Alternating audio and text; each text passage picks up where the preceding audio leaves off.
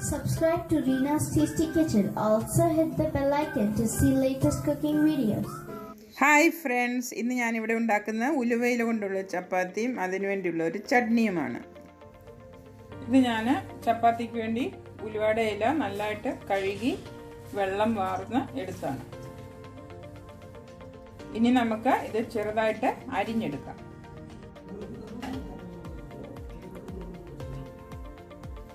ഞാൻ ഇല അരിഞ്ഞെടുത്തു. ഉലുവായില ചപ്പാത്തിക്ക് ആവശ്യമുള്ള സാധനങ്ങൾ നമ്മൾ അരിഞ്ഞെടുത്ത ഉലുവായില ഉപ്പ് മുളക് പൊടി മഞ്ഞൾപ്പൊടി ജീരകം പൊടിച്ചത്. നമുക്ക് ഇല വഴുത്താൻ വേണ്ടി ശകല എണ്ണ ഒഴിക്കാം. അധികം വേണ്ട എണ്ണ.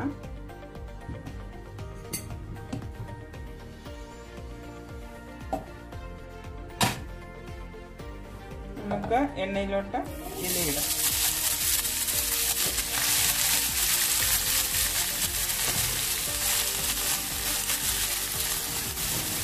നമുക്ക് നന്നായിട്ട് ഇളക്കി കൊടുക്കാം. അതിന്റെ കൂടെ നമുക്ക് ശകലം ഉപ്പും കൂടെ ഇടാം. നന്നായിട്ട് ഇളക്കി നമുക്ക് ലോ ഫ്ലെയിമിൽ നമുക്ക് അടച്ചു വെക്കാം. രണ്ടു മൂന്ന് മിനിറ്റ് കഴിഞ്ഞു. നമുക്കൊന്ന് ഇളക്കി കൊടുക്കാം. ഇപ്പം നമ്മുടെ ഇല നല്ലതായിട്ട് വഴന്ന് വന്നിട്ടുണ്ട്. ഈ സമയത്ത് ചെറുതീതിൽ നമുക്ക് ഒരു അര സ്പൂൺ മുളക് പൊടി ഇടാം.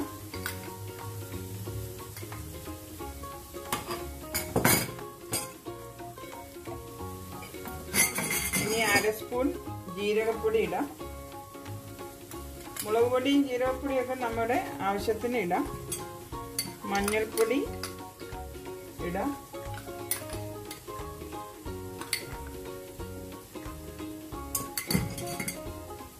നമുക്ക് നന്നായിട്ട് ഇളക്കാം.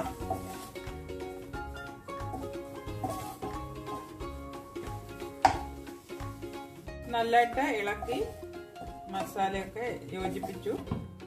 ചെറുതീയിൽ അടച്ചു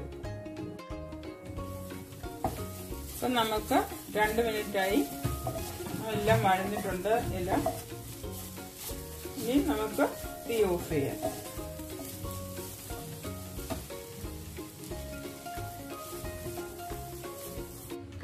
ഇത് ഞാൻ വാഴത്തിയെടുത്ത ഉലുവായിലയാണ്. ഇനി നമുക്ക് ചപ്പാത്തി ഉണ്ടാക്കാനായിട്ട് തുടങ്ങാം.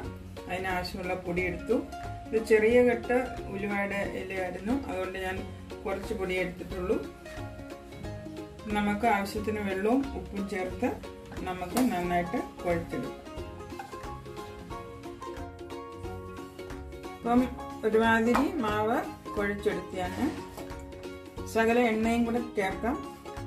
നമ്മൾ ഇല വഴറ്റിയപ്പോൾ എണ്ണ ഉള്ളതുകൊണ്ട് അധികം ചേർക്കണ്ട.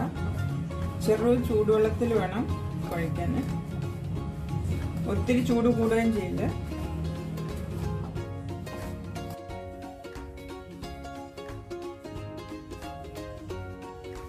ഇനി നമുക്ക് ചെറിയ ഉരുളകളാക്കി പരത്തിയെടുക്കാം.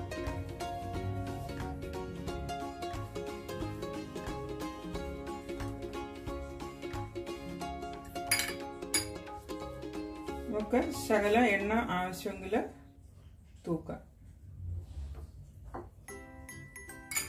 എന്നിട്ട് ഇങ്ങനെ മടക്കണം. പിന്നെ ഇങ്ങനെ. പിന്നെ ഈ സൈഡ് ഇങ്ങനെ ഒട്ടിക്കുക. നമുക്ക് വീണ്ടും റൗണ്ടിൽ പരത്തിയെടുക്കാം ഇത് ചപ്പാത്തി നല്ല സോഫ്റ്റ് ആകാൻ കൂടിയാണ്. ഇനി നമുക്ക് ചപ്പാത്തി ചൂടാം. അതിനായി തവ വെച്ചു. തവ ചൂടായിട്ടുണ്ട്. നമുക്ക് ആദ്യം സ്വല്പം എണ്ണ തേക്കാം. ഞാൻ സബോള ഇങ്ങനെ മുറിച്ച് അതാണ് അതിലാണ് മുക്കി തൂക്കുന്നത് ആവശ്യമുള്ളവർക്ക് ചെയ്യാവുന്നതാണ്. ഇനി നമുക്ക് ചപ്പാത്തി ഇടാം.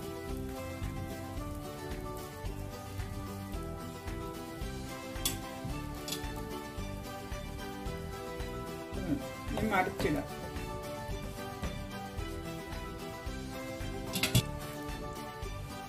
അപ്പം നമുക്ക് തിരിച്ചും മറിച്ചും ഇട്ടിട്ട് ആവശ്യത്തിന് ശകല എണ്ണ കൊടുക്കാം നെയ്യ് ഇഷ്ടമുള്ളവർക്ക് നെയ്യ് വേണേൽ ചേർക്കാം.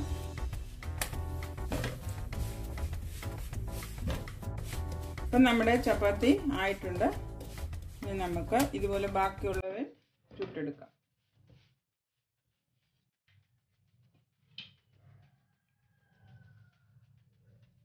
ഇനി നമുക്ക് അമേത്തി ചപ്പാത്തിക്ക് വേണ്ടിയിട്ട് ഒരു ചട്നി ഉണ്ടാക്കാൻ പെട്ടെന്ന് എളുപ്പമാണ്. തൊലി കളഞ്ഞു വെച്ച കടല വെളുത്തുള്ളി മുളക് ഉപ്പ് ആവശ്യത്തിന്. നമുക്ക് ഇത് മിക്സിയിൽ പൊടിച്ചെടുക്കാം. അരയ്ക്കുമല്ല ഇത്? പൊടിച്ച് എടുത്താൽ മതി. ഇത് ഞാൻ പൊടിച്ചെടുത്തു. ഇതുപോലെ പൊടിച്ചെടുക്കണം.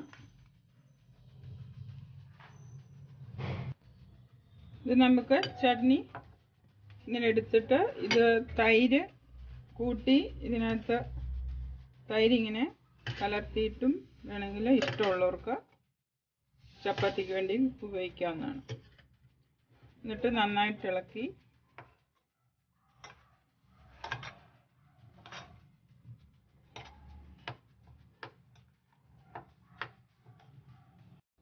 നല്ലതായിട്ട് തൈര് ഇളക്കി യോജിപ്പിച്ച് ശേഷം നമുക്ക് ചപ്പാത്തിയുടെ കൂടെ കൂട്ടി കഴിക്കാവുന്നതാണ്. ആവശ്യത്തിന് ഉപ്പും കൂടെ ചേർക്കണം. ഇപ്പം നമ്മുടെ മേത്തി ചപ്പാത്തിയും ചട്നിയും റെഡി ആയിട്ടുണ്ട്. നിങ്ങളെല്ലാവരും ഇത് ട്രൈ ചെയ്യണം. ഇനി ഇതുപോലെ ടേസ്റ്റി റെസിപ്പിയുമായി ഞാൻ വീണ്ടും വരുന്നതായിരിക്കും.